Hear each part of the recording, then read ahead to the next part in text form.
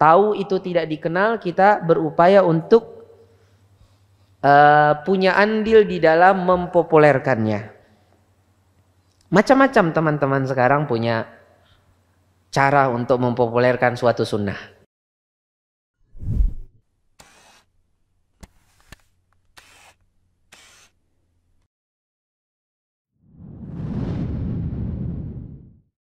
Assalamualaikum warahmatullahi wabarakatuh. إن الحمد لله نحمده ونستعينه ونستغفره ونعوذ بالله من شرور أنفسنا ومن سيئات أعمالنا. من يهده الله فلا مضل له ومن يضلل فلا هادي له. وأشهد أن لا إله إلا الله وحده لا شريك له.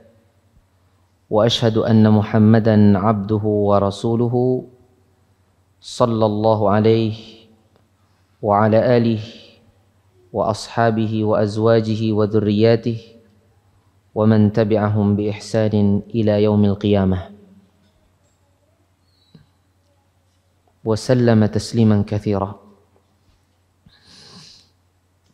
kaum muslimin yang berbahagia saudara-saudaraku Bapak dan Ibu jamaah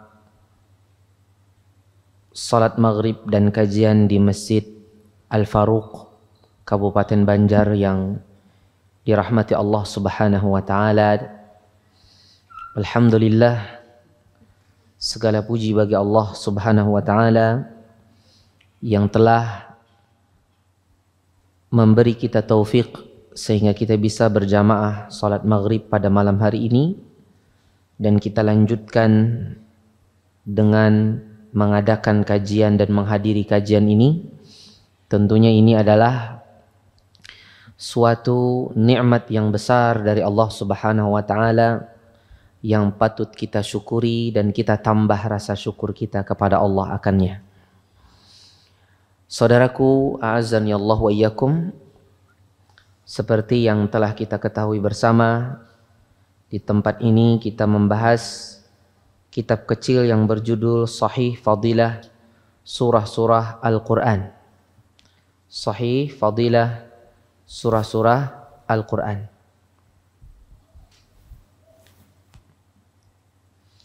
Sebelumnya,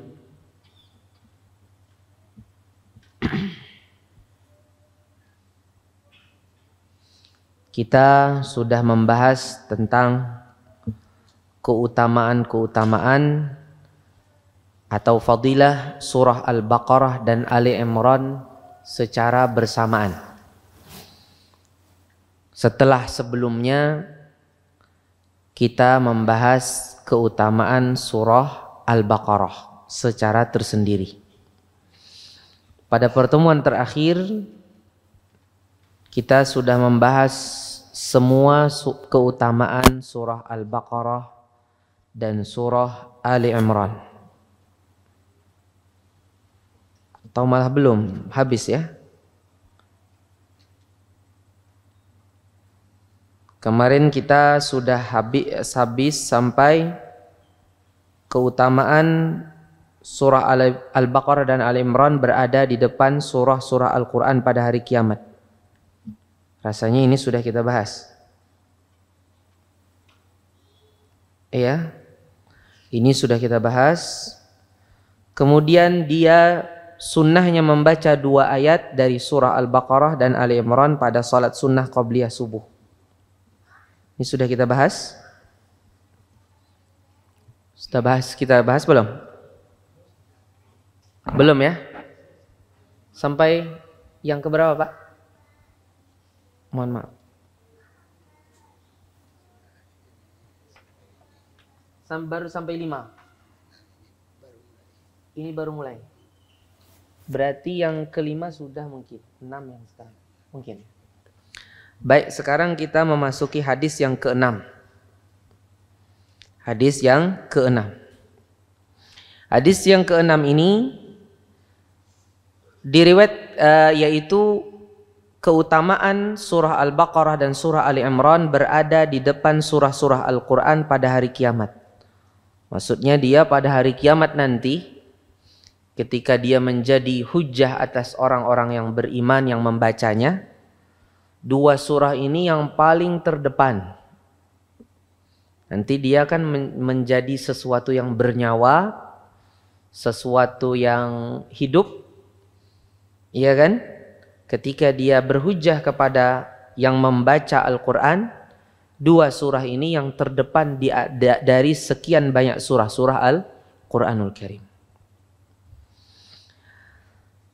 An-Nawas bin Sam'an Al-Kilabi radhiyallahu anhu berkata, Sami'tu an-nabiy sallallahu sami'tu an-nabiy sallallahu alaihi wasallam yaqul يؤتى بالقرآن يوم القيامة وأهله الذين كانوا يعملون به تقدمه سورة البقرة وآل عمران.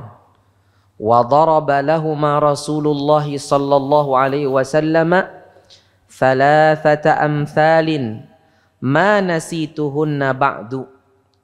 قال كأنهما غمامتان أو ظلتان أو سوداوان بينهما شرق أو كأنهما خر حر حزقان من طير صواف صو صواف تحاجان عن صاحبهما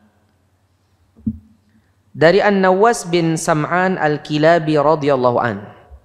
Seorang sahabat yang mulia, beliau berkata, Al-Quran didatangkan pada hari kiamat bersama para pembacanya yang beramal dengannya. Di depannya surah Al-Baqarah dan surah Ali Imran yang paling terdepan dari semua surah. Ngomong-ngomong Al-Quran berapa surah Bapak? Ada berapa? 114 surah. Yang paling terdepan tiga surah, dua surah ini. An-Nawas lantas berkata, ya, Rasulullah Shallallahu Alaihi Wasallam memberikan tiga permisalan pada kedua surat tersebut yang saya tidak akan, yang saya, yang saya tidak, saya tidak akan saya lupakan. Nabi membuat tiga permisalan untuk dua surah ini. Beliau bersabda, bagaikan dua awan atau dua awan hitam yang di antaranya ada cahaya atau bagaikan dua kelompok burung yang menaungi pembacanya. Jadi Nawas bin Sam'an masih ingat betul perumpamaan Nabi Muhammad SAW untuk dua surah ini apa? Tiga kata beliau. Yang pertama dua surah ini laksana dua awan. Nangka itu aja. Dua awan. Kada pakai sifat. Awannya nang kaya apa kada. Laksana dua awan. Ka'annahuma matani. Pian lihat hadisnya, teksnya. Buku-bukunya banyak sebenarnya di belakang ini Pak ya di, bel, di belakang kaca-kaca nih banyak sekali buku-bukunya ya.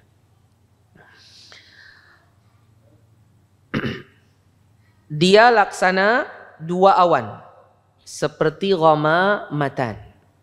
Ya. Kemudian perumpamaan kedua seperti zullatani saudawani bainahuma syarqun. Laksana dua awan hitam yang di antaranya ada cahaya. Dua awan hitam, di antara keduanya ada cahaya. Perumpamaan ketiga, dia seperti hizqani min tayrin sawaf. Dia laksana dua kelompok burung yang menaungi pembacanya. Jadi dua kelompok burung, satu kelompok, dua kelompok, dua-duanya menaungi pembacanya.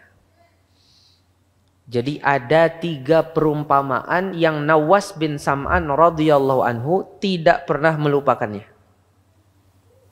Nah, kita sebagai umat Nabi Muhammad SAW hendaknya meneladani An-Nawas bin Sam'an di dalam suka mengingat-ingat perumpamaan dari Nabi Muhammad SAW. Kalau kita dapati dari Nabi Muhammad SAW suatu perumpamaan, usahakan untuk mengingatnya seperti An-Nawas bin Sam'an. Kita usahakan untuk mengingatnya. Kada hafal bahasa Arabnya, bahasa Indonesianya barang seperti dua awan. Yang pertama, dua surah tadi, Al-Baqarah sama Al-Imran seperti dua awan. Yang kedua, seperti dua awan hitam di antara keduanya ada cahaya. Yang ketiga, seperti dua kelompok burung yang berbaris-baris rapi dan kedua kelompok burung tadi menaungi pembacanya. Allahu Akbar. Jadi ini adalah apa namanya? ini adalah tiga perumpamaan Nabi Muhammad SAW terhadap dua surah yang mulia ini yaitu surah Al-Baqarah dan Ali Imran. Kita hendaknya memperbanyak membaca dua surah ini. Hadis ini sahih diriwayatkan oleh Al-Imam Muslim dan juga diriwayatkan oleh Imam At-Tirmidzi. Nah, yang tadi disebutkan seperti dua apa seperti dua awan hitam di antara keduanya ada cahaya, ada tambahan di antaranya ada ada cahaya, di antara keduanya ada cahaya itu tambahan Imam At-Tirmizi. Adapun di dalam Sahih Muslim disebut hanya seperti dua awan hitam. Ya, tambahan Imam At-Tirmizi tentunya adalah tambahan ilmu, ya, tambahan redaksi untuk melengkapi yang ada di riwayat Muslim. Baik, kita lanjutkan. Kita teruskan ke hadis beri, ke keutamaan yang berikutnya yaitu yang ketujuh. Sunnahnya membaca dua ayat dari surah Al-Baqarah dan Ali Imran Maksudnya dua ayat itu satu dari Al-Baqarah, satu dari Ali Imran. Kapan? Pada sholat sunnah qabliyah subuh. Pada sholat sunnah qabliyah subuh. Sholat sunnah qabliyah subuh ini biasanya bahasa ulamanya apa? Sunnatul fajr. Ya, sunnatul fajar. Sunnatul fajar.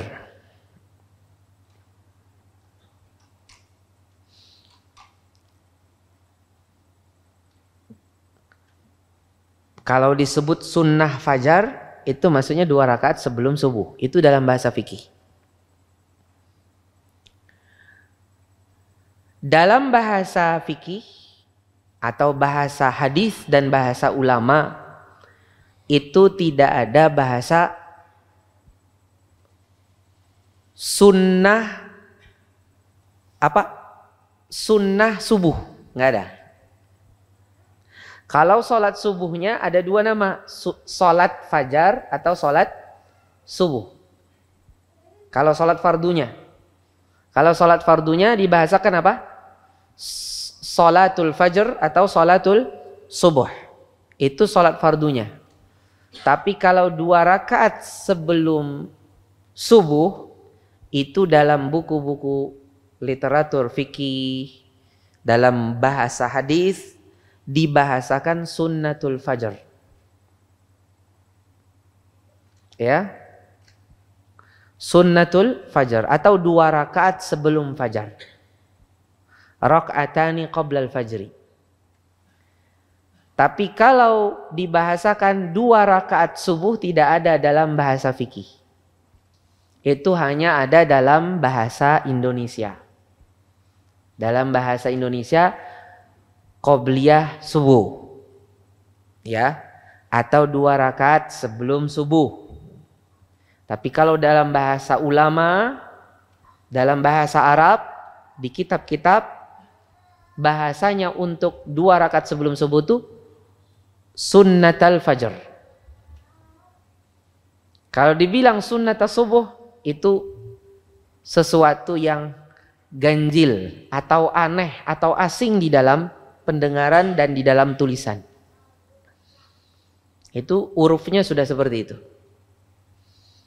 Jadi dalam masalah ini ketika kita umpamanya mencari referensi tentang masalah dua rakaat sebelum subuh dalam bahasa Arab maka hati-hati menulisnya. Jangan bahasakan subuh. Ya, tapi fajar. Tapi kalau untuk sholat fardunya silahkan sebut subuh. Untuk sholat fardunya. Di sini disebutkan dari Ani bin Abbas radhiyallahu anhu qala kana Rasulullah sallallahu alaihi wasallam yaqra'u fi rak'atayil fajr. Nah, bahkan dua rakaat sebelum subuh itu dibahasakan rak'ata al-fajri, dua rakaat fajar bukan qob uh, rakaata rakaatani qabla al-fajr lagi. Rakaata al-fajr. Dua rakaat fajar. Kalau disebut dua rakaat fajar maksudnya qabliyah subuh dalam bahasa Indonesia. Rakaata al-fajr. Umpamanya dalam bahasa Arab seseorang bertanya, "Aina satadhhab?" "Sa'adhabu ilal masjid." Yang jawab, "Madza taf'alu fil masjid?" Sa'usalli rak'atayil fajar. Saya akan sholat dua rakaat fajar. Maksudnya apa itu?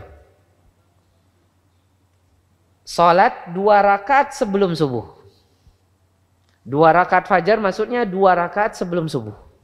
Ini bahasa sahabat tentang Rasulullah SAW.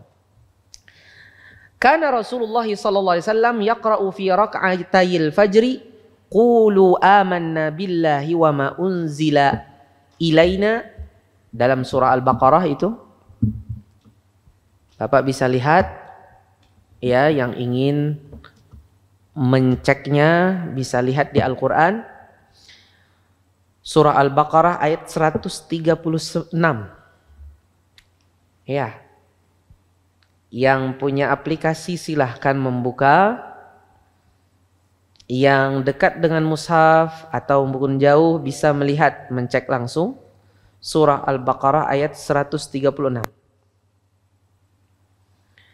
Wallati fi Ali Imran qul ya ayyu qul ya ahlal kitab ta'alu. Dan yang terdapat pada uh, surah Ali Imran ayat 64. Saya baca terjemahannya dari Abdullah bin Abbas radhiyallahu anhuma bahwasanya Rasulullah sallallahu alaihi wasallam membaca pada dua rakaat fajar yaitu qabliyah subuh maksudnya. Pada rakaat pertama beliau membaca qulu amanna billahi wa ma unzila ilaina. Ayat berapa? Dari surah Al-Baqarah ayat 136. Mari kita sama-sama baca. Qulu sama-sama kita baca. Qulu amanna billahi wa ma unzila ilaina wa ma unzila ila Ibrahim wa Ismaila wa Ishaqa wa Yaquba wal asbati wa ma utiya Musa wa Isa wa ma utiya nabiyuna min rabbihim la nufarriqu baina ahadim minhum wa nahnu lahu muslimun. Seayatan. Itu nang kaya hafal surah Az-Zalzalah kira-kira. Kayak hafal surah Al-Adiyat. Ya kada? Ya, pian hafal itu. Itu rakaat pertama. Jadi dipilihkan oleh Nabi satu ayat dari surah Al-Baqarah karena keutamaan surah ini. Kemudian pada rakaat kedua Nabi kata Ibnu Abbas membaca ayat yang ke-64 dari surah Ali Imran. Lihat ayat ke-64.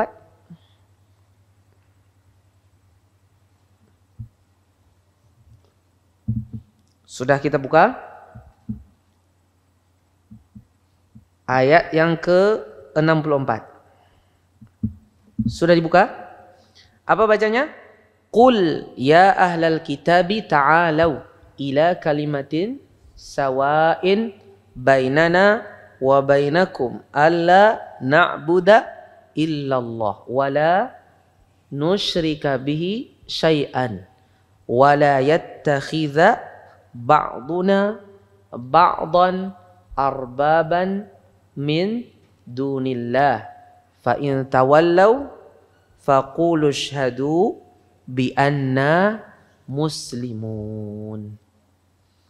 Ini yang dibaca pada rakaat kedua hadis ini diriwayatkan oleh Imam Muslim dan An-Nasai diriwayatkan oleh Imam Muslim di dalam sahihnya dan juga diriwayatkan oleh Imam An-Nasai.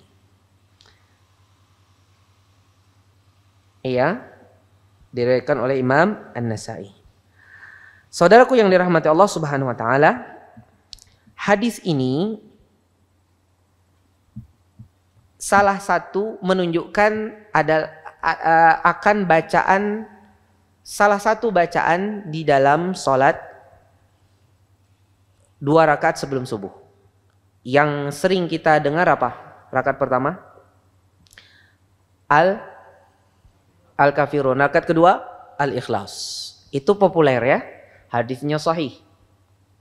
Kalau yang ini tidak populer. Tidak populer sehingga ini bisa dikategorikan sunnah mahjurah. Apa artinya sunnah mahjurah? Sunnah yang diting tinggalkan. Mending ditinggalkan. Kalau ditinggalkan tuh kadang-kadang diketahui nggak? Diketahui. Kadang-kadang dia lebih parah daripada itu. Yaitu apa? Sunnah mansiyah. Mansiyah artinya dilupakan. Sunnah yang dilupakan. Kemudian ada yang lebih daripada itu, sunnah majhulah. Bisa jadi dia bukan dilupakan. Gimana lupa? Tahu aja enggak? Berarti dia sunnah majhulah. Sunnah yang tidak diketahui, tidak dikenal. Orang tahu banyak sunnah, tapi sunnah itu enggak tahu. Berarti dia bisa jadi sunnah mahjurah. Sunnah yang ditinggalkan tahu tapi kadang memakai. Seperti hadir di sini tidak pernah berusaha untuk bisa menghafalnya padahal tidak panjang itu. Pendek saja. Atau hafal Ustaz. Cuma kada menggawinya apa kada ingat menggawinya. Ini berarti sunnah man siyah. Atau sama sekali tidak kenal, tidak tahu. Ini namanya sunnah majhulah, sunnah yang tidak diketahui. Ah, tentunya kita sebagai muslim berusaha untuk menghidupkan sunnah Nabi Muhammad SAW. Tahu itu tidak dikenal, kita berupaya untuk uh, punya andil di dalam mempopulerkannya. Macam-macam teman-teman sekarang punya cara untuk mempopulerkan suatu sunnah. Umpamanya bikin suatu status, atau bikin suatu pamflet atau bikin suatu apa brokes ya BC atau dia bikin suatu player ya player player untuk dia uh, apa uh, bagi-bagi ke teman-temannya ya untuk bagi-bagi sunnah ini. Jadi ini termasuk dari yang perlu kita sama-sama hidupkan. Bukti kecintaan kita kepada Nabi Muhammad SAW adalah kita berusaha untuk mengamalkan apa yang beliau perbuat, apa yang beliau biasakan.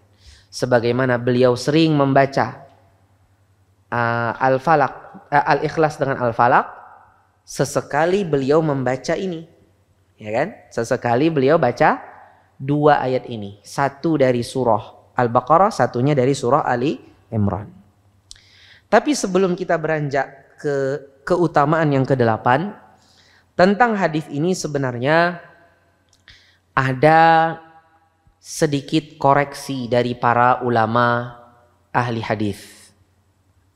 Hadis yang sekarang kita baca tadi barusan ini sangat populer sekali. Padahal pada matan hadis ini apa? Pada matan dan pada sanad hadis ini ada kekeliruan. Jadi hadis ini sebenarnya sahih, tapi ada kekeliruannya. Jadi hadisnya itu sebenarnya sahih ya. Cuman ada kekeliruan di dalam riwayat. Dan ini yang saya ingin komentari di sini. Apa kekeliruannya? Saya ingin sampaikan hadis ini subhanallah terkenalnya dua bacaan ini. Ya. Yang kita lihat yaitu pada rakaat kedua surah Ali Imran ayat 64.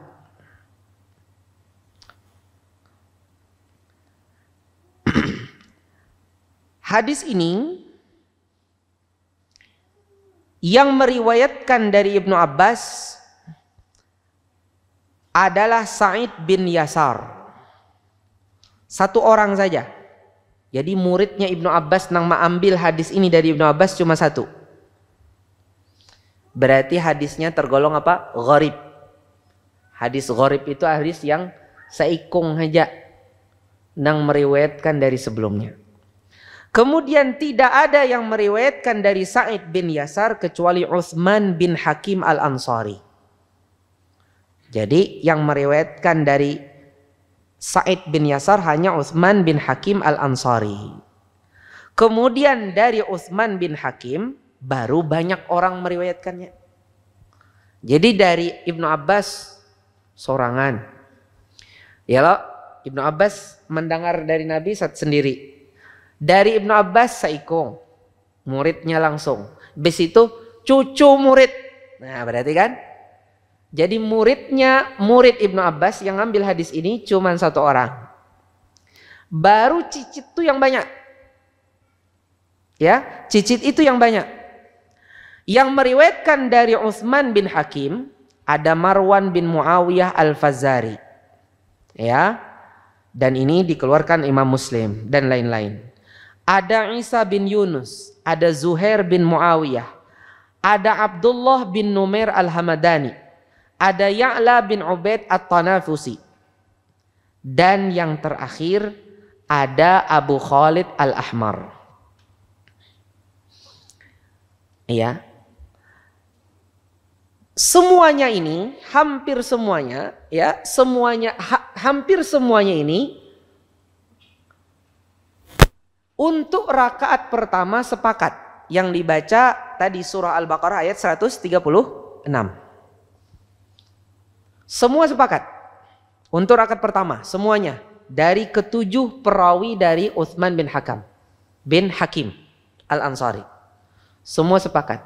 Untuk rakaat kedua ya, untuk rakaat kedua yang sahih, perawi yang sahih dari dari Uthman uh, bin Hakim Al-Ansari ada tiga orang ketiga-tiganya yaitu Abu Bakar, Harun dan uh, iya dan Uthman semuanya meriwayatkan apaan ketiga apaan semuanya yang meriwayatkan semuanya tidak ada tambahan apa?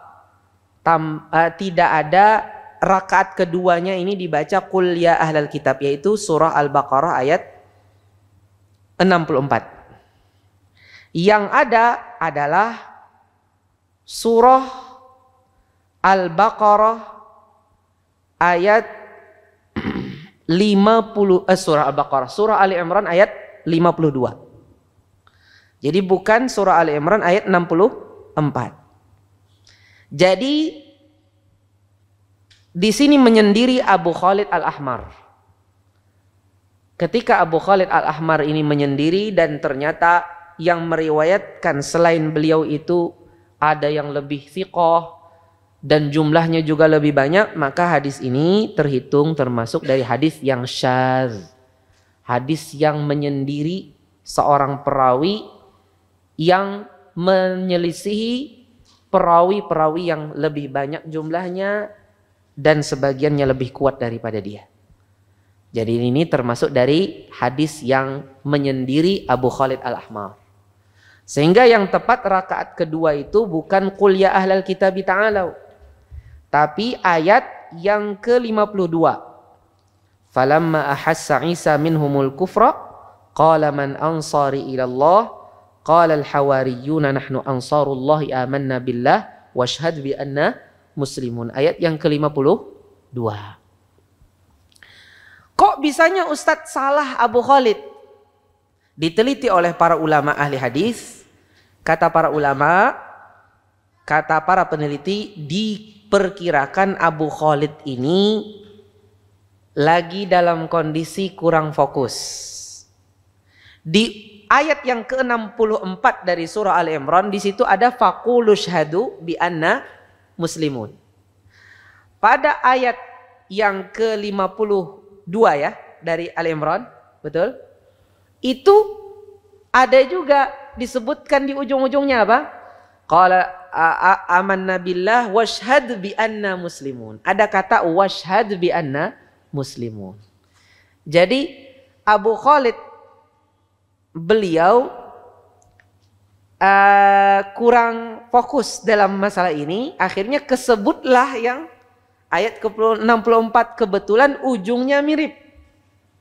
Karena ujungnya mirip itu kesebut itu padahal sebenarnya yang ujungnya washhad bi anna muslimun. Jadi kekurang telitian Abu Khalid di dalam menyebutkan hadis ini.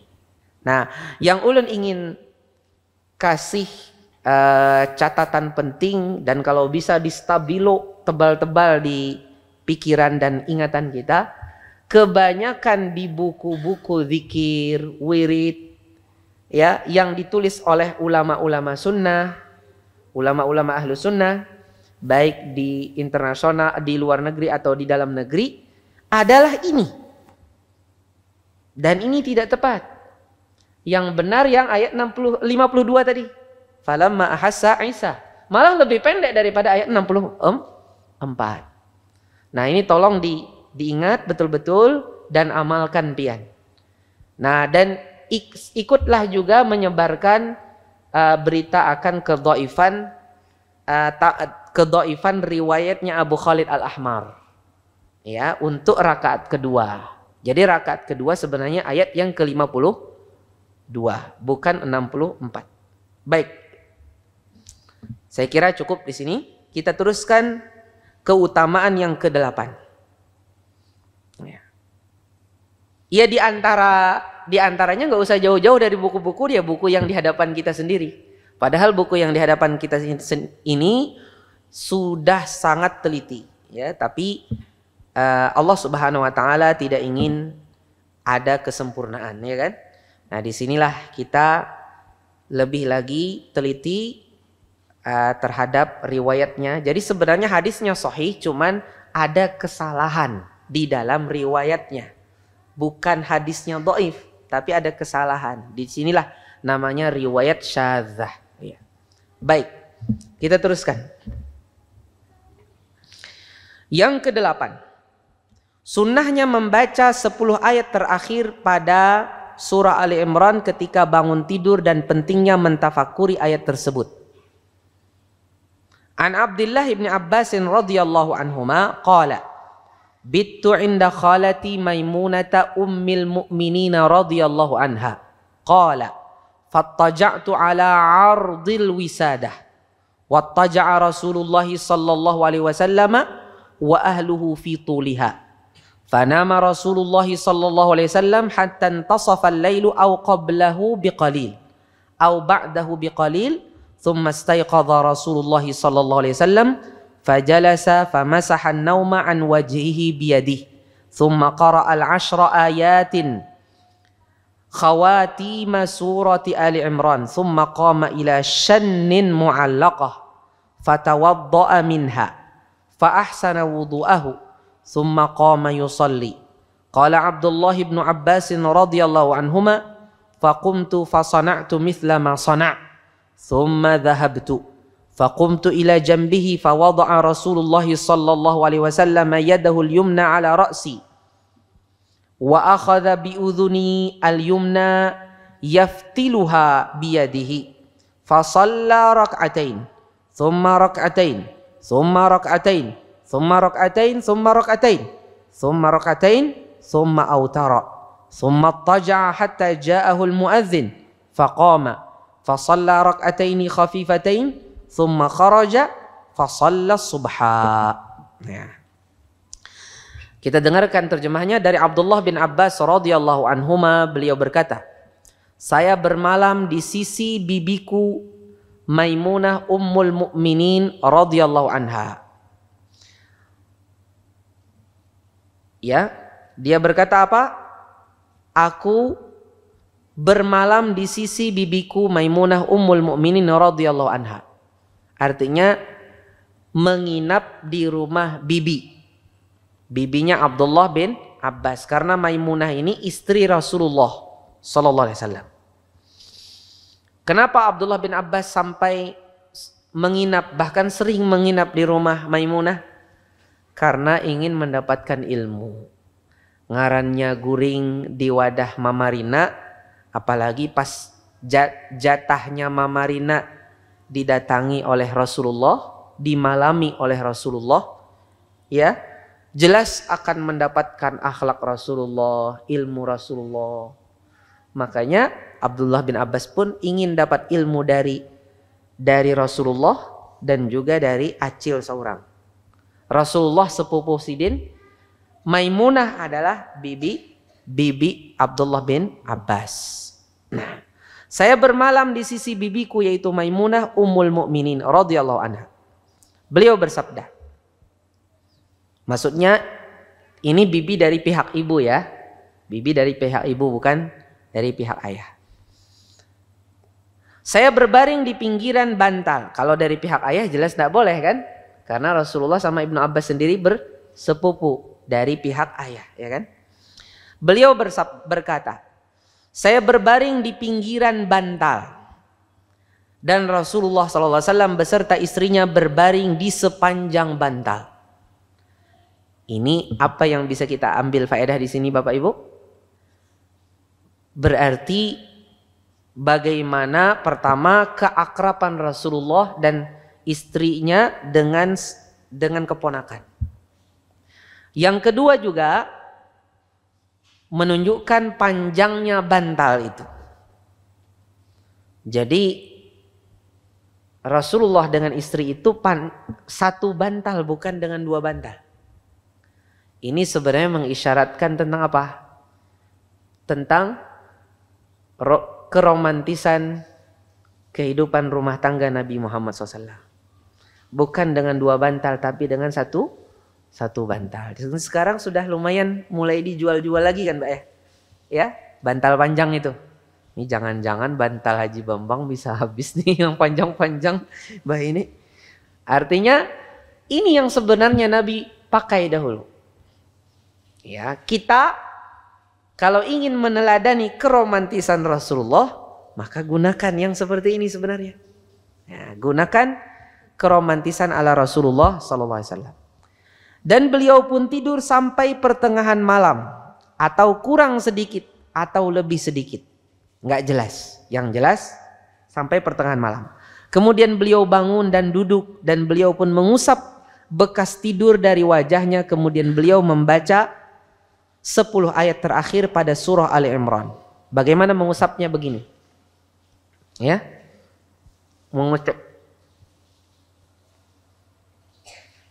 mengusap ya yang ada di wajah. Dan beliau membaca 10 ayat terakhir dari surah Ali Imran. Kemudian beliau menuju tempayan yang tergantung dan beliau berwudu darinya dan memperbaiki wudunya. Kemudian beliau sholat. Jadi kemudian beliau menuju tempayan yang tergantung ya, kemudian beliau berwudu darinya, tempayan yaitu tempat air ya, dan beliau berwudu darinya dan memperbaiki wudunya, kemudian beliau sholat. Disebutkan pada sebagian riwayat ketika beliau membaca ayat tadi, beliau membacanya sambil melihat langit ke atas. Melihat langit ke ke atas. Dan ini bisa bisa jadi dengan beliau membuka jendela kemudian melihat langit langsung. Ya, melihat langit langsung. Jadi sambil membuka jendela membaca 10 ayat tersebut. Terdapat di dalam tambahan yang lain. Kita teruskan. Abdullah bin Abbas radhiyallahu anhu berkata, dan saya pun bangkit dan melakukan apa yang beliau lakukan. Kemudian saya pergi berdiri di samping beliau. Beliau meletakkan tangan kanannya di atas kepalaku. Subhanallah. Dan memegang telinga kananku dan memutarnya dengan tangannya. Artinya ngajarin Ibnu Abbas berwudu. Beliau sholat dua rakaat, kemudian dua rakaat, kemudian dua rakaat, kemudian dua rakaat, kemudian dua rakaat, kemudian dua rakaat sebelum witir. Ini menunjukkan praktek keseharian Nabi biasanya sholatnya dua rakaat, dua rakaat. Seperti perkataan beliau, sholatul laili mathna mathna.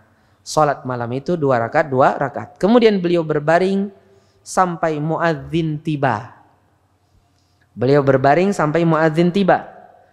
Dan beliau bangun dan sholat dengan dua rakaat ringan.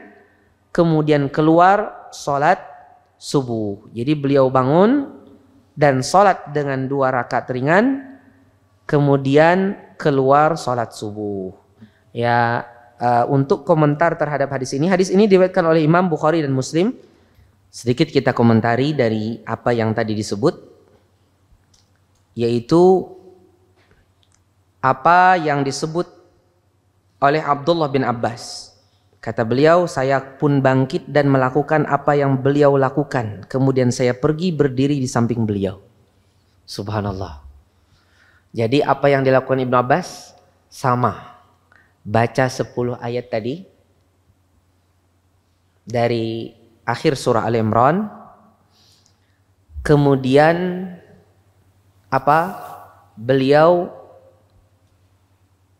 me, apa mengusap-ngusap bekas-bekas tidur dari wajah kemudian beliau berwudu atau cuci tangan dan berwudu seperti kondisi sebelum seperti Rasulullah SAW. Jadi Ibnu Abbas tahu ya apa yang dari Rasulullah SAW itu adalah suri tauladan jadi beliau ambil semuanya. Kemudian beliau meletakkan tangannya di atas kepalaku. Jadi Nabi meletakkan tangan ke, apa namanya tangan kanannya di atas kepalaku dan memegang telinga kananku dan memutarnya dengan tangannya. Afwan, ini bukan wudhu ya. Tapi maksudnya Ibnu Abbas salat di kiri Rasulullah. Salat di kiri Rasulullah. Dia sudah wudhu ya. Sholat di kiri Rasulullah, kemudian dia Nabi pegang kepalanya, pegang kepalanya dan memegang telinga kananku dan memutarnya dengan tangannya untuk memindah ke sebelah kanan karena Ibnu Abbas sebelumnya di sebelah kiri kalau nggak salah disebutkan dalam hadis. Dan itu dalam kebiasaan bangsa Arab itu adalah pegangan yang sayang. Jadi hormat itu dan sayang itu megang kepala. Ya, kalau kita di daerah kita kalau pegang-pegang kepala orang apalagi kepala orang Arab eh, orang Indonesia orang tua itu kurang ajar ya kan? Ya kan? Ya oh, iwaninya ya mengikuti kepala kuitan atau kepala kakek-kakek gitu kan? Nah, kalau di dalam bangsa Arab memegang kepala itu suatu kehormatan. Apalagi setelah memegang itu diteruskan dengan memberikan kecupan di kepala atau di kening ya. Ini adalah suatu penghormatan. Jadi pegangnya dari atas atau dari belakang biasanya, dari bagian sini. Ya, seperti seorang anak megang kepala bagian belakang ayahnya kemudian dia dia kecup. Nah, itu suatu kehormatan. Begitu pula anak-anaknya. Jadi mereka biasa sudah dengan kepala itu dipegang. Beda dengan uh, kultur sebagian bangsa, mungkin di antaranya bangsa yang ada di negara ini, yang seperti itu mungkin tidak tidak biasa. Beliau kemudian apa? Beliau sholat dua rakaat, kemudian dua rakaat, kemudian dua rakaat, kemudian dua rakaat, kemudian dua rakaat. Udah berapa tuh? Dua, dua, dua, dua, dua. Berapa sudah? Hah? Sepuluh. Habis itu dua, satu. Berarti berapa? Tiga belas. Berarti sholat malam itu bisa sebelas, bisa tiga belas. Seperti yang terdapat pada sebagian riwayat yang lain. Bisa sebelas, bisa tiga belas seperti kebiasaan Rasulullah. Walaupun yang rojih tidak ada bilangan, tapi yang berasal dari Rasulullah, praktek beliau, sebelas atau tiga belas. Kalau ada yang ingin lebih daripada itu atau kurang daripada itu silahkan. Yang digawi Nabi ini. Dan kata kata Aisyah, jangan engkau tanya tentang bagus dan indahnya. Rokok sidin, sujud sidin, badirinya sidin. Ya, iktidalnya sidin, jangan ikam takuni lagi. Indah dan panjangnya uh, semua tersebut. Ya. Kemudian beliau berbaring sampai muadzin tiba. Ini yang dilihat oleh Ibnu Abbas. Beliau berbaring sampai muadzin tiba. Ya mungkin ini mamadarnya ala Rasulullah. Paham pian mamadar? Hah? Nang kada paham, takuni nang paham. Artinya apa? Nabi mamadarnya itu sebelum subuh. Nah, sebelum subuh. Ini yang dilihat oleh Ibnu Abbas. Tapi sebenarnya mungkin ada sesuatu yang lebih rahasia daripada itu.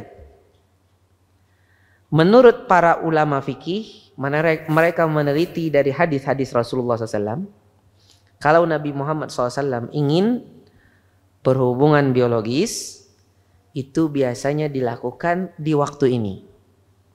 Yaitu setelah sholat malam, antara sholat malam dengan sholat fajar. Ya, antara sholat malam dengan sholat fajar. Ya. Kalau umpamanya puasa, berarti sebelum sahur kalau bersahur. Ya kan? Sebelum bersahur. Dan ketika bersahur tidak mesti harus sudah mandi. Yang penting mandi itu sebelum sholat fajar gitu kan sebelum sholat gitu kan. Ya, jadi itu waktu yang Rasulullah SAW biasanya lakukan, bukan di awal malam. Di awal malam, karamian, akhirnya kita tidak bisa sholat malam. Bahkan jangankan sholat malam, sholat subuh juga bisa kadang-kadang terlambat. Nah Rasulullah melakukannya di waktu itu. Dan ada suatu penelitian dari beberapa ahli tentang kesuburan pada laki-laki di dalam membuahi. Itu sangat manjurnya bagi yang mungkin kurang subur atau mungkin kurang lajang dan sebagainya. Bahasa Banjar. Uh, itu sebenarnya ada suatu penelitian ilmiah yang mengaitkan dengan sholat malam. Lawas badiri malam, lawas badiri malam itu membuat eh, apa namanya sperma laki-laki itu subur, subur.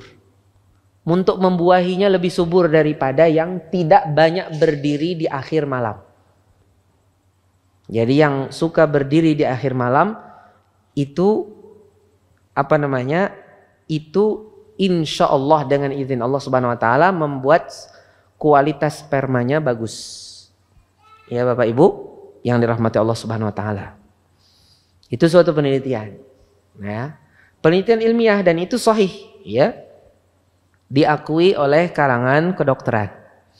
Dan ini kalau kita lihat bagaimana pri kehidupan Rasulullah SAW yang tentunya sebagai contoh bagi kita, maka ini tentunya adalah suatu kiat yang sangat jitu bagi siapa saja yang mendambakan keturunan. Bisa jadi bisa diamalkan bagaimana uh, pola hidup Rasulullah dan waktu-waktu yang menjadi kebiasaan Rasulullah SAW beraktivitas seperti yang uh, tadi saya sebutkan tadi.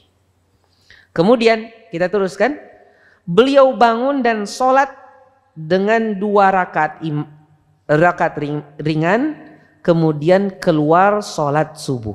Nah, ada pulang sembahyang? Apa pulang nih? Pak, maka padahal sholat malam sudah 13 rakaat. Ada pulang dua rakaat ringan. Dua rakaat ringannya ini disebutkan oleh sahabat cepat melakukannya. Dan dua rakaat ringan ini kadang-kadang Rasulullah SAW melakukan dalam kondisi duduk. Dalam kondisi duduk, tidak berdiri. Ya, dalam kondisi duduk. Beliau sholatnya duduk dua rakaat tersebut. Ada juga yang menyebutkan berdirinya duduk. Kemudian ketika ruku berdiri untuk ruku. Baru turun untuk sujud. Tapi untuk berdirinya dalam kondisi ruku. Dan duduk, sholat duduk, berdiri itu boleh dengan duduk apa saja. Iftirosh boleh. Dengan apa namanya dengan tarabbu' atau dengan bersila boleh. Tapi yang lebih bagus posisi berdiri adalah dalam kondisi bersila, tarabbu'.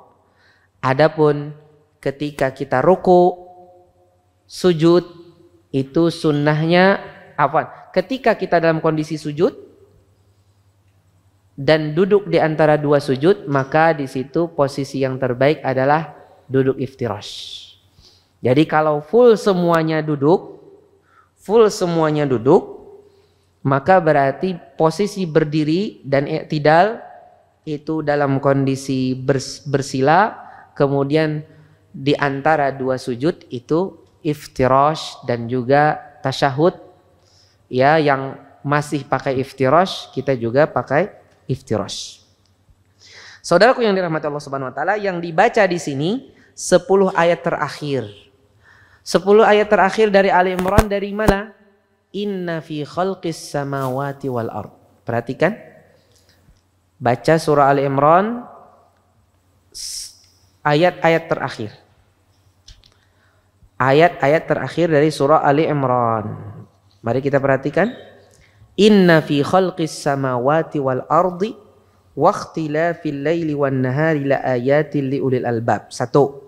Di situ alladzina yadhkuruna Allah qiyaman wa qu'udan wa ala junubihim wa yatafakkaruna fi khalqis samawati wal ard Rabbana ma khalaqta hadha batilan subhanaka faqina adzaban nar dua Rabbana innaka man tudkhilin nar faqad aghzaita wa ma lidh-dhalimin min ansar tiga Rabbana innana sami'na munadiyan yudadi lil imani an aminu bi rabbikum fa amanna rabbana faghfir lana dhunubana wa kaffir anna sayyi'atina wa tawaffana ma'al abrar. Nah, intinya sampai innallaha sari'ul hisab. Betul? Innallaha sari'ul hisab itu 10 ayat. Tapi masukkan saja oleh pian ayat yang terakhirnya. Ya ayyuhalladzina amanu sabiru wa sabiru wa rabitu wattaqullaha la'alakum tuflihun. Habiskan aja sampai ujung ya sampai ujung daripada daripada ayat ini kita baca sampai akhir daripada ayat ini. Jadi full 11 ayat kita baca bangun tidur. Ini sunnah. Ini sunnah Nabi Muhammad Sallallahu Alaihi Wasallam. Dan ini bisa jadi sunnah mahjurah juga, ya kan? Sunnah mahjurah, sunnah yang ditinggalkan atau mungkin sunnah mansiyah atau sunnah majhulah. Kita teruskan. Dari An Ubaid bin Umair qala li Aisyah radhiyallahu anha akhba akhbirina bi a'jabi syai'in ra'aitihi min Rasulillah sallallahu alaihi wasallam. Qala fasakatat. Thumma qalat lamma kana lailatun min al-layali qala ya Aisyatu dharini ata'abbadu al-lailata li inni la uhibbu qurbaka wa uhibbu ma sarraka قالت فقام فتطهر ثم قام يصلي. قالت فلم يزل يبكي حتى بلى حجره. قالت ثم بكى. فلم يزل يبكي حتى بلى لحيته. قالت ثم بكى. فلم يزل يبكي حتى بلى الأرض فجاء بلال يؤذنه بالصلاة. فلما رآه يبكي قال يا رسول الله لم تبكي وقد غفر الله لك ما تقدم وما تأخر؟ قال أفلا أكون عبدا شكورا؟ لقد أنزلت علي, علي الليلة آية ويل لمن قرأها ولم يتفكر فيها. إن في خلق السماوات والأرض.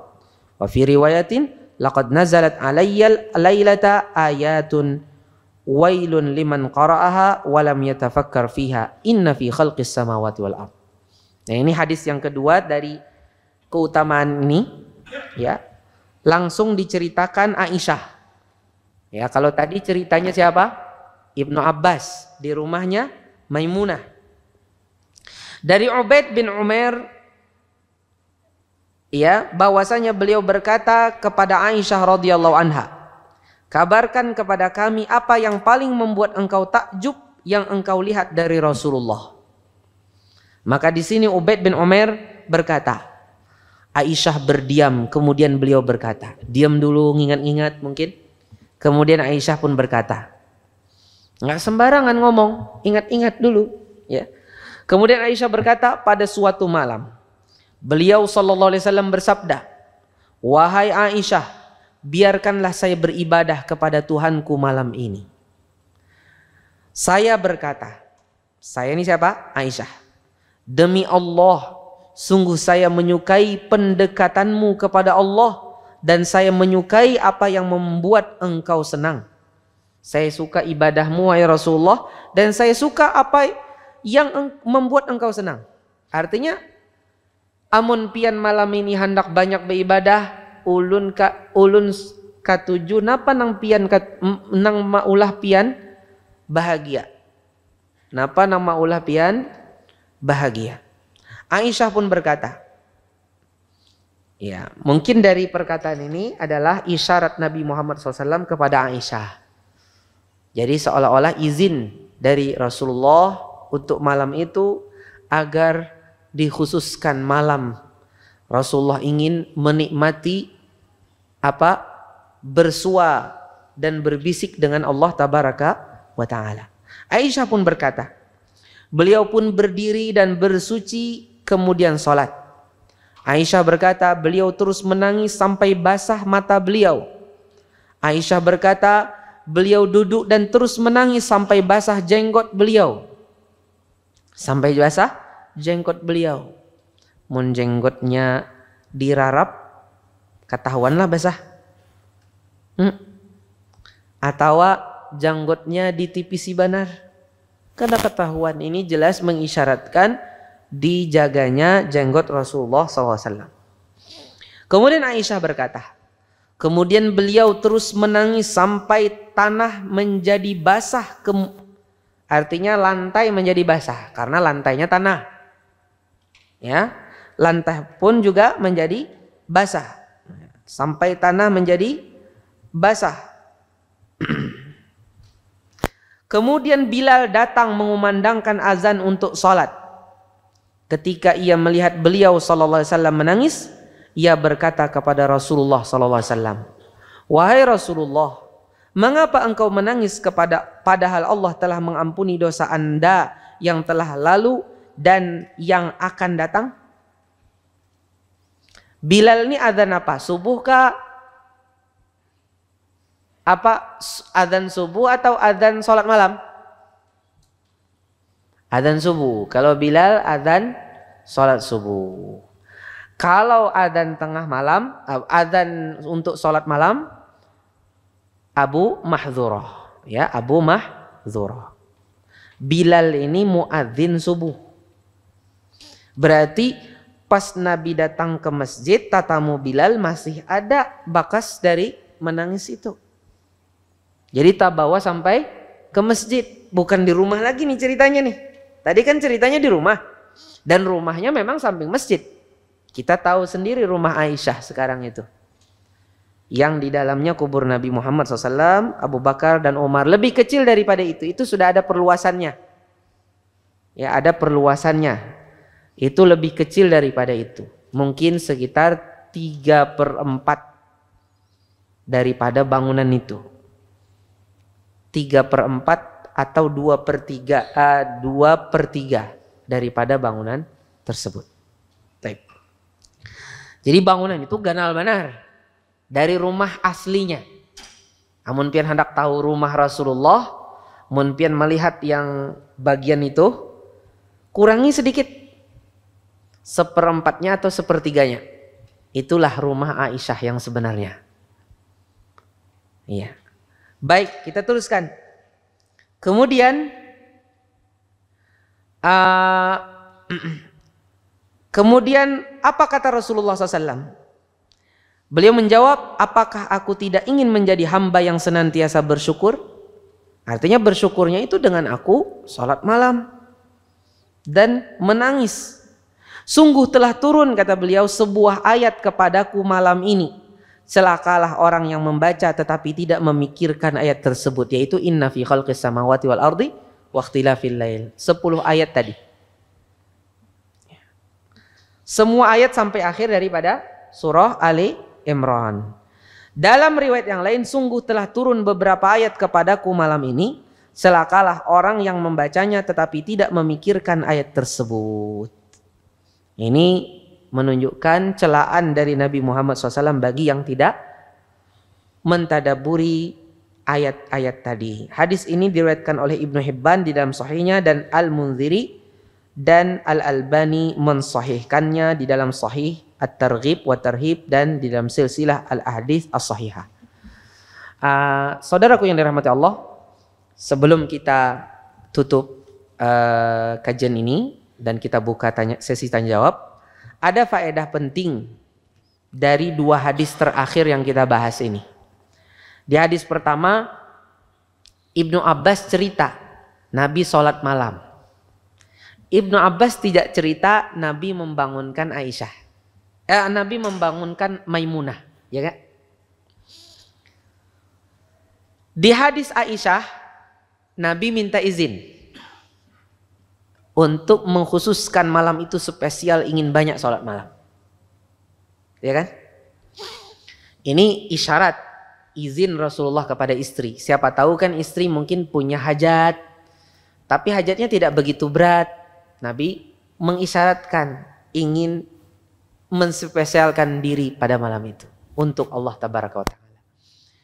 Kemudian uh, pada beberapa riwayat lagi disebutkan Nabi sholat malam istrinya tidur. Seperti disebutkan di dalam hadis riwayat Aisyah, Nabi sholat malam tentunya kondisi masih gelap Aisyah mencari di samping nggak ada Nabi. Kemudian Nabi dipegang-pegang sama Aisyah, kepegang kaki Nabi. Dalam kondisi sujud, kaki Sidin hampir rapat.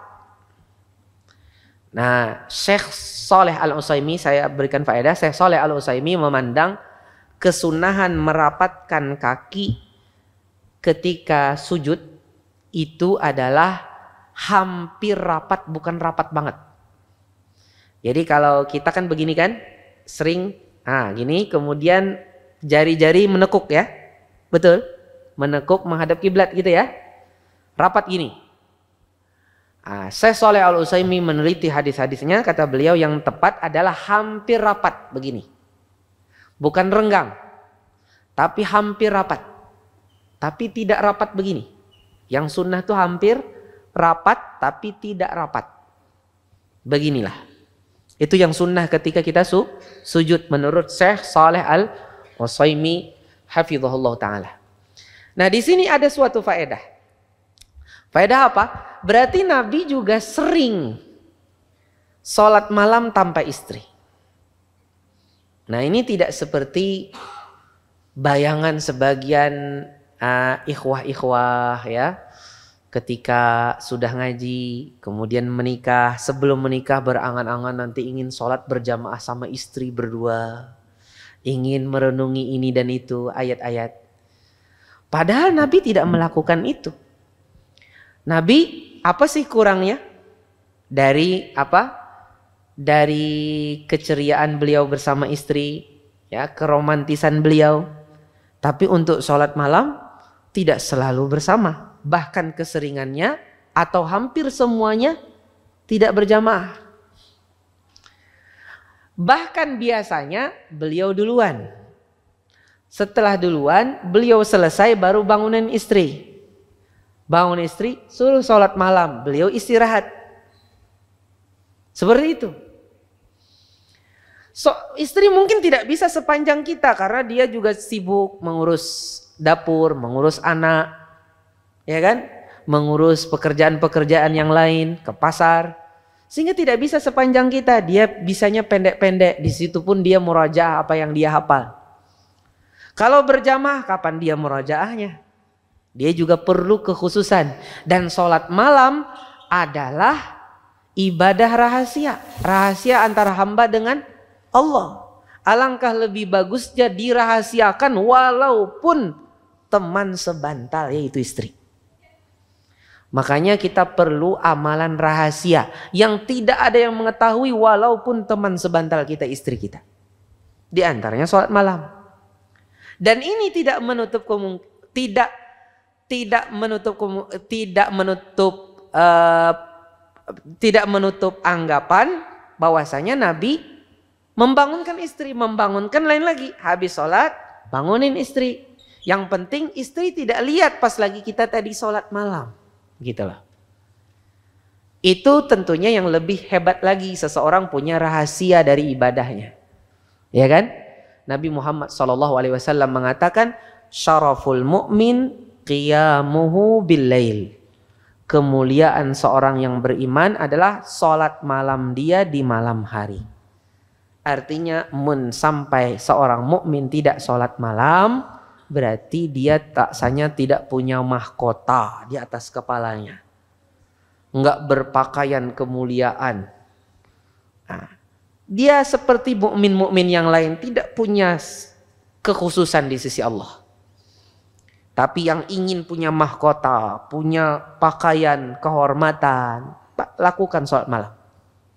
Kemuliaan seorang yang beriman adalah sholat malam dia di malam hari. Jadi apa yang kita dengar dari hadis tadi ah, itu kalau kita campur-campur dengan hadis-hadis yang lain mengisyaratkan Nabi Muhammad SAW sebenarnya kebanyakannya atau hampir semuanya atau bahkan semuanya beliau tidak sholat berjamaah bersama istri sholat malamnya. Sholatnya sendiri-sendiri. Enggak romantis Ustadz. Enggak romantis apa? Nabi paling romantis. Antum satu bantal enggak sama istri? Ya. Tadi sudah kita pelajari bagaimana keromantisan Rasulullah SAW satu bantal. Nah, kita dua bantal. Ya, pengen sholat malam berjamaah. Padahal Nabi tidak. Boleh-boleh saja silahkan berjamaah. Tapi kalau disering-seringkan dan itu dianggap adalah suatu yang romantis, Rasulullah orang paling romantis kepada istri. Nabi tidak melakukannya. Orang yang paling sayang kepada istri tapi Nabi tidak melakukannya. Banyak masih tempat-tempat untuk kita romantis bersama istri. Wallahu taala alam wa fikum. Semoga ini bermanfaat bagi kita. Salah dan khilaf mohon dimaafkan. Uh, intinya ada beberapa faedah yang kita bisa bahas tadi malam ini. Uh, kebenaran datang dari Allah Subhanahu wa taala, kekhilafan datang dari pribadi saya. Silahkan kalau ada pertanyaan dari Bapak dan Ibu di sini.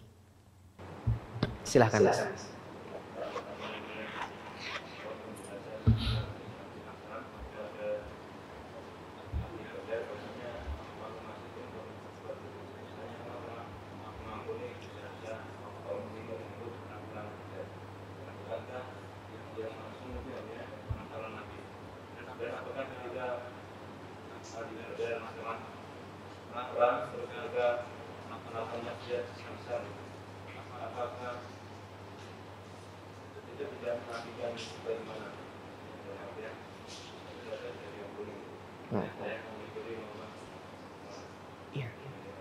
Masya Allah. Luar biasa. Pertanyaan yang luar biasa dari saudara kita tentang arti hadis Nabi Muhammad SAW kepada para sahabat yang ikut perang Badar, para veteran perang Badar, pejuang perang Badar. Kata Nabi, yang malu masyitum faqad uh, Allah mengatakan kepada kalian i'malu masyitum faqad ghafartu lakum.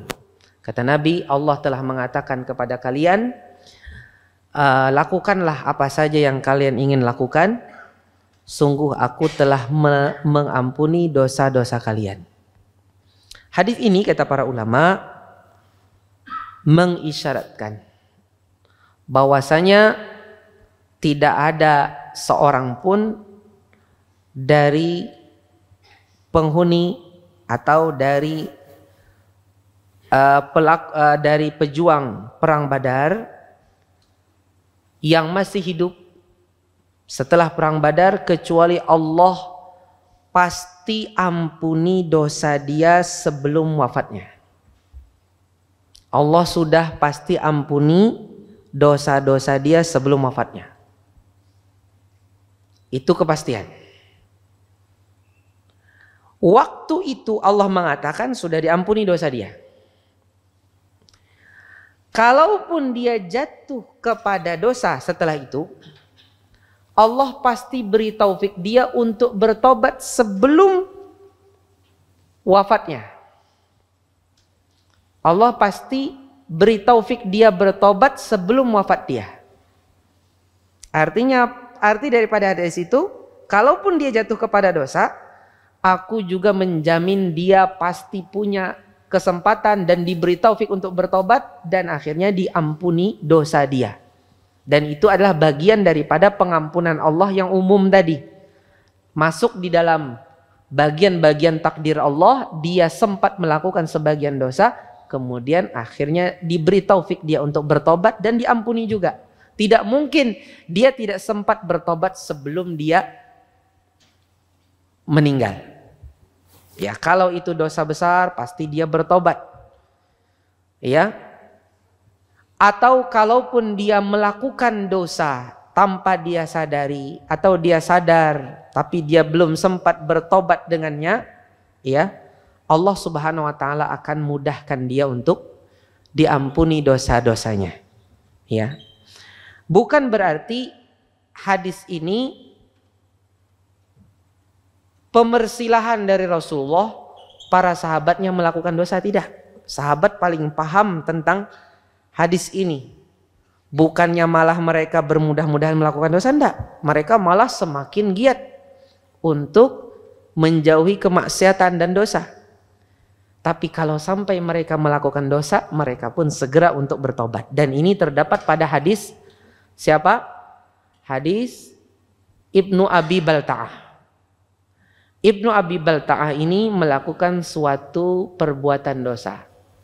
Yaitu dia sempat jatuh kepada loyalisme yang belum mengeluarkan dari Islam kepada orang kafir yaitu membocorkan rahasia Rasulullah SAW kepada beberapa orang Mekah. Ya, akan niatan Nabi SAW untuk mendatangi. Jadi ketika dibocorkan itu, ya, akhirnya Ibnu Abi Balta'ah ini ketahuan. Sampai akhirnya ada sahabat yang ingin membunuh Ibnu Abi Balta'ah. Karena dia sudah membocorkan rahasia Rasulullah. Yang ingin membunuh adalah Umar bin Khattab. Membocorkan rahasia Rasulullah itu suatu kekufuran. Membocorkan rahasia kepada orang kafir. Itu suatu kekufuran. Makanya Umar bin Khattab ingin membunuh.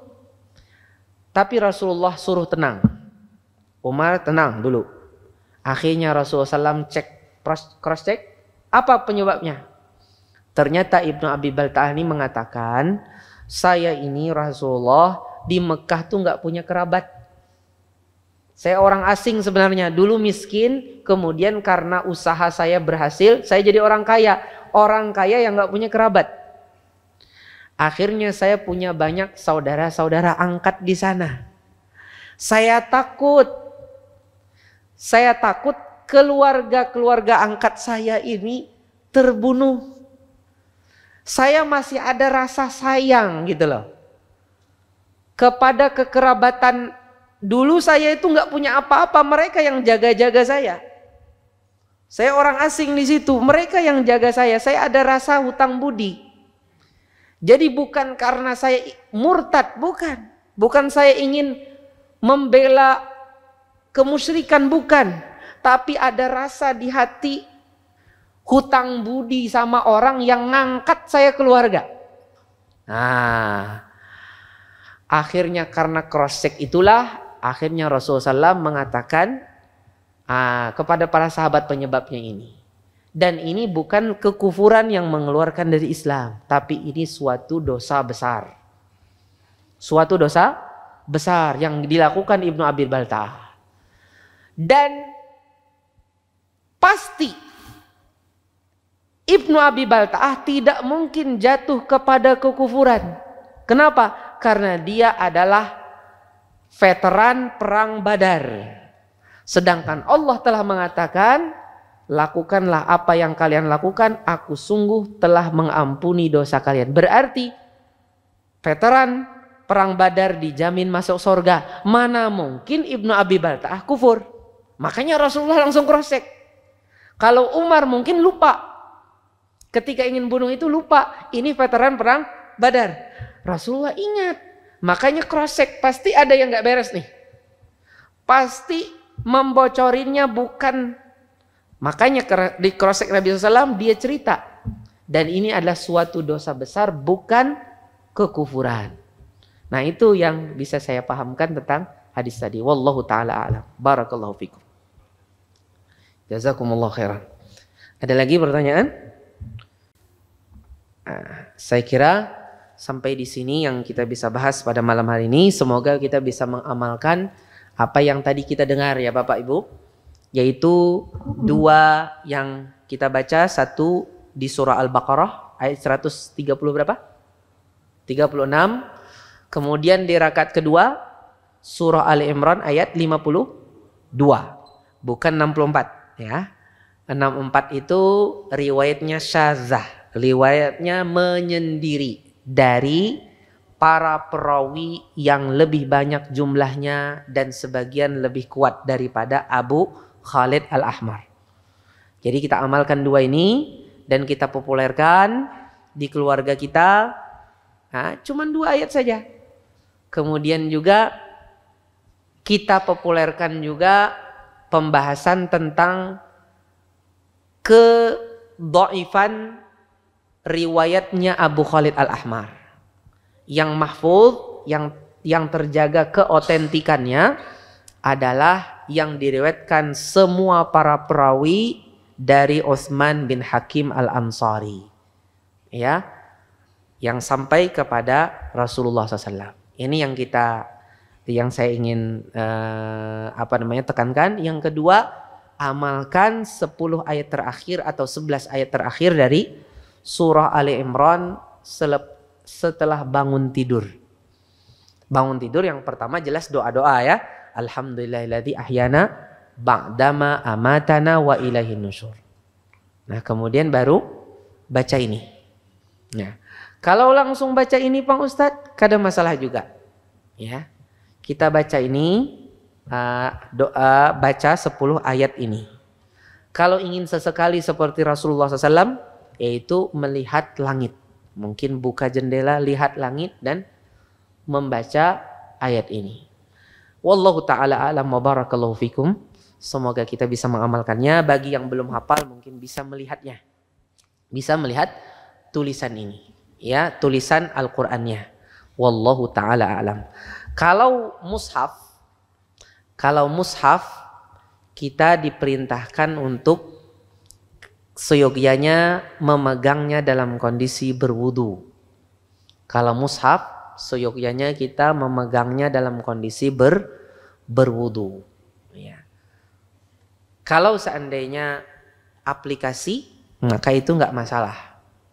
Karena aplikasi tidak dianggap hukumnya persis seperti mushaf. Ya. Ya.